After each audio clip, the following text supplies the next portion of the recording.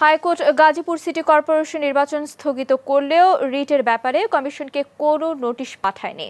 এমন অভিযোগ তুলেছে নির্বাচন কমিশন। কমিশন বলছে, এই নির্দেশে তারা বিপাকে পড়েছে। রিপোর্ট করছেন নিয়াজ মোর্শেদ। নির্বাচনের তফসিল ঘোষণার সাঁত্রিশ দিন পর একটি রিটের শুনানি শেষে গাজীপুর সিটি কর্পোরেশন নির্বাচন স্থগিত করেছে উচ্চ আদালত। অথচ শুনানিকালে নির্বাচন কমিশনের কোনো প্রতিনিধি আদালতে ছিলেন না, এমনকি কমিশনকে কোনো নোটিশও পাঠায়নি আদালত।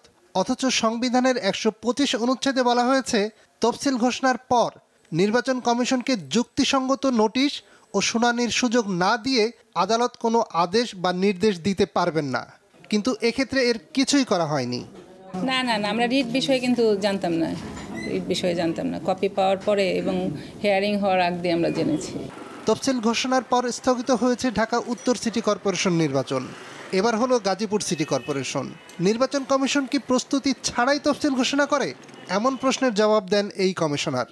স্থানীয় সরকার থেকে যখন ক্লিয়ারেন্স দেওয়া হয় যে হ্যাঁ নির্বাচন করার উপযুক্ত সময় এখন বা নির্বাচন করার মতো উপযোগী নির্বাচন করার উপযোগী তখনই তো আমরা তফসিলটা দিয়েছি এবং আমরা কিন্তু দুইবার ক্লিয়ারেন্সটা নিয়েছি নির্বাচন ইয়ে, স্থানীয় সরকার থেকে।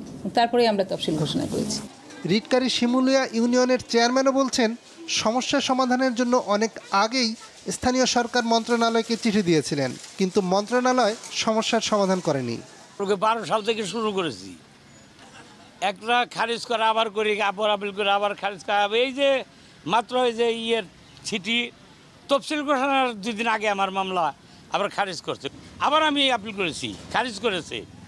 এইবার আমি এই যে সাত আট দিন আগে থেকে আবার কাগজপাতি সব হাইকোর্টি করে আজকে আমি ই পেয়েছি। তবে সাবেক নির্বাচন কমিশনার এম শাখাত হোসেন বলছেন, বর্তমান কমিশন দৃঢ় অবস্থান না নেওয়ায় বারবার কমিশনের সিদ্ধান্তে বাধা আসছে।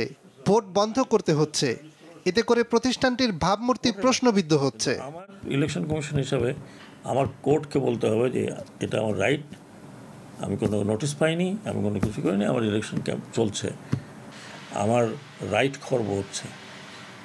ইলেকশন কমিশনের রাইটটা খর্ব হচ্ছে এবং নির্বাচন কমিশনের রাইট যদি খর্ব হয় তার সামনে তো আরও বড় বড় ইলেকশন রয়ে গেছে। এই ইনস্টিটিউশনের উপরে মানুষ বিশ্বাস করবে কেন? মানুষের তো বিশ্বাস হারা হওয়ার কথা?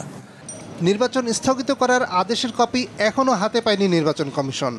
কমিশন বলছে, রায়ের কপি হাতে পেলে পরবর্তী সিদ্ধান্ত নিতে বৈঠকে বসবেন তারা। নিয়াজ মোর্শেদ মাছাঙ্গা সংবাদ, ঢাকা।